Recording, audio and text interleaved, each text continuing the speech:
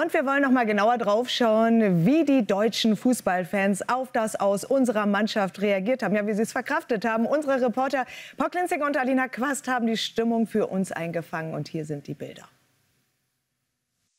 Die Party ist vorbei.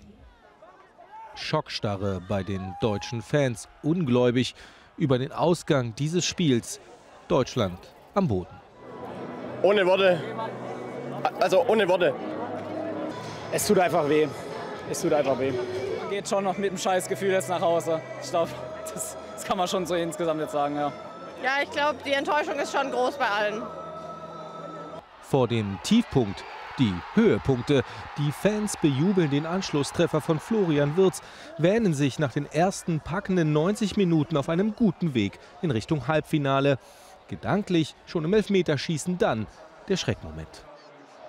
Es ist der Lucky Punch. Hier in Stuttgart ist man jetzt fassungslos.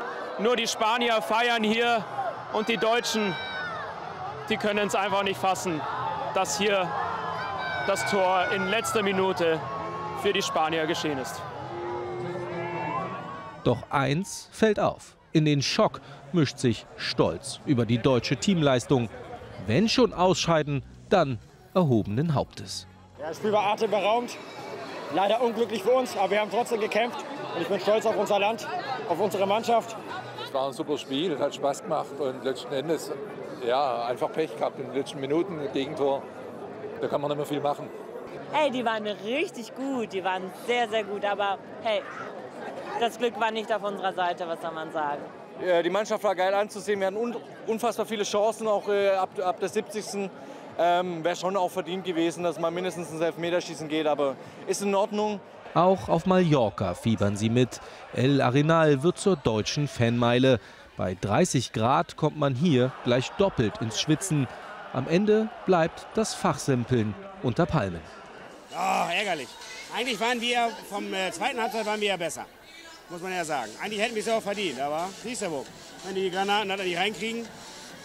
Geiles Spiel, beide Mannschaften haben toll gespielt, äh, aber nichtsdestotrotz, glaube ich, wäre Deutschland der verdiente Sieger gewesen. Aktuell tut es weh einfach. Aber ich, ich würde sagen, ganz ehrlich, ich drücke Spanien die Daumen. Wir hätten uns für Deutschland gefreut, aber so haben die Spanier morgen bessere Laune. Viele sind hier sehr enttäuscht, aber wir sind hier auf Mallorca, wir sind hier in der Bierstraße.